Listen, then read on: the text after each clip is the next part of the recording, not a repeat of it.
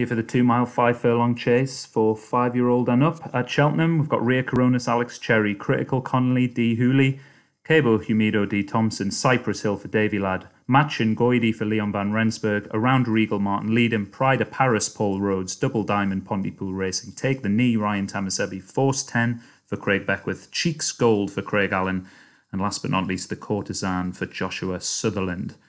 And away they go here at Cheltenham two mile, five furlongs to go. It's Machin Goidy in the early lead. They've got 17 fences to jump here. It's going to be a real test of these horses' abilities to jump with the real stiff fences that we face at Cheltenham. But they've all jumped that one really well. Around Regal, the courtesan in the early lead with Ria Coronas. Look how tightly bunched they are together.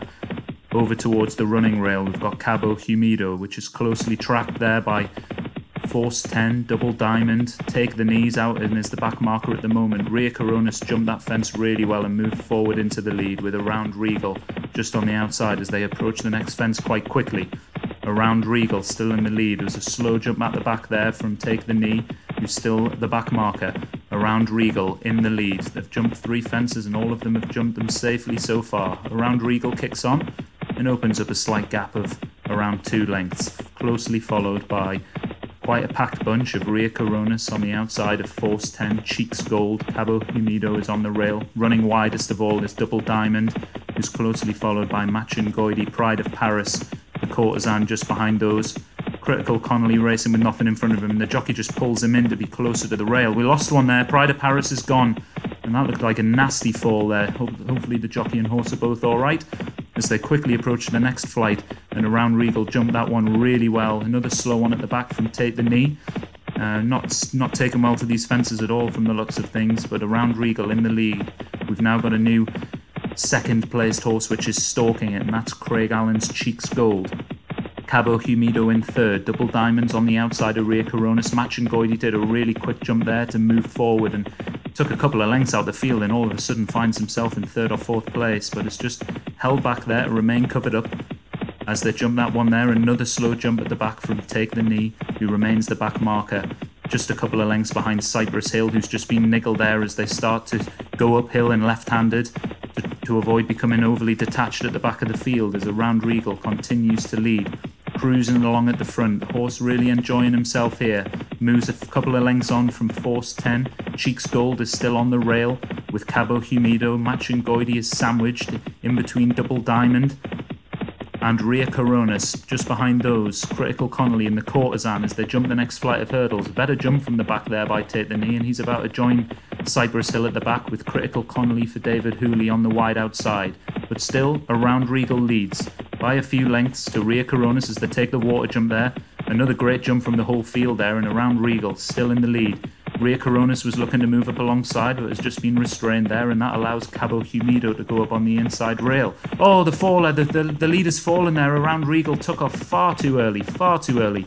And that that's allowed Cheeks Gold and Machin Goidy to move into the lead as they quickly take the next flight of hurdles. Bad mistake there from Force 10 at the rear of the field, and he's been relegated to last position just behind Critical Connolly.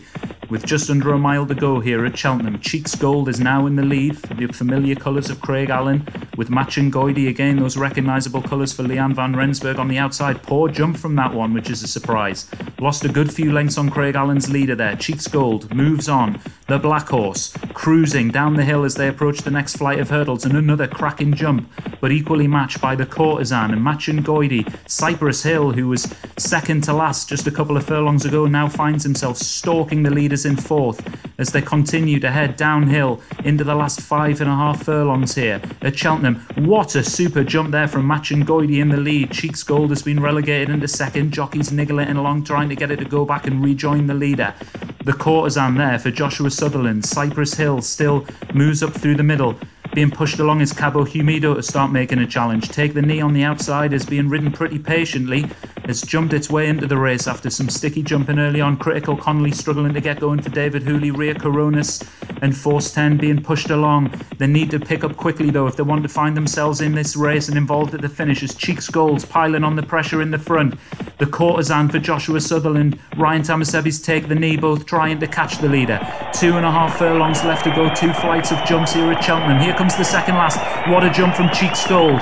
Helps him extend the advantage. Take the knee, doesn't want to give up on the outside. Cabo Humido in third, desperately trying to get back into it. Another good jump from Cheeks Gold. He's jumping the best of the lot here.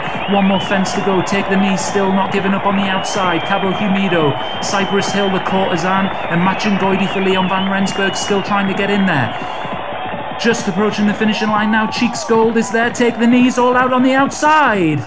As they approach the line, the line, the hill, it just seemed to come up so quickly there. Cheeks Gold has held on, I'm sure. Take the knee.